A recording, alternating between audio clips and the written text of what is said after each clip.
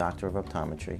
Uh, my primary duties here is I see pre and post-op surgeries. Uh, I work under Dr. Martin, so emergency care, I take care of the cataract patients, the uh, LASIK patients, I see them after surgery, and pterygium uh, surgeries, which is of the cornea.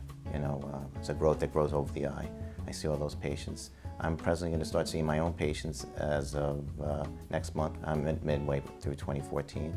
I'm an optometrist, so and I do refractions, you know, eyeglass prescriptions, uh, contact lens prescriptions, and then we send them out to another practice where they can fill the prescriptions. I first started when I was younger. I went to hotel management school. I thought I would run a hotel, and I got a uh, major in hotel management, a minor in culinary, so I was in that field for a long time. I worked in Manhattan running businesses, and shortly after that, I wasn't fulfilled with that program. I was more stimulated to learn more. So I started studying I, I took a course in um, Stony Brook University in psychology. So I started school in, in the late 80s, early 80s rather. And I went to, back to school at Stony Brook University, pre-med for psychiatry. And shortly after that, I met somebody who detoured me into optometry.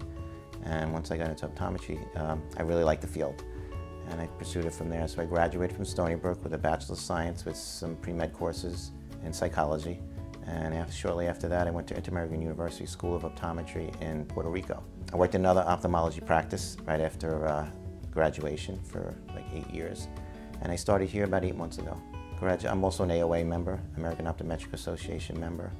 Actually, some patients after surgery, you know, they're a little at unease, and my job is to make sure that process, you know, during post-op period is really relaxed for them. Um, I don't want them to be stressed, and most patients do very well after surgery, but some patients they get a little anxious, you know, uh, going into a surgery, and then thereafter it's usually pretty easy, unless um, just coasting them along. That would be the most challenging, you know, making sure their visions, everything's okay, they have the right medicines. You take a cataract patient, they go, we're not seeing well at all, and I, the most satisfying thing I feel is after surgery, watching them progress and you know, with their new vision and watch the end results after the post-op period is done. And, when, and they do very well and they make sure they have, you know, they smile through the way, and make it as easy as possible and um, actually get close with my patients and make that transition from poor vision to good vision go very well for them.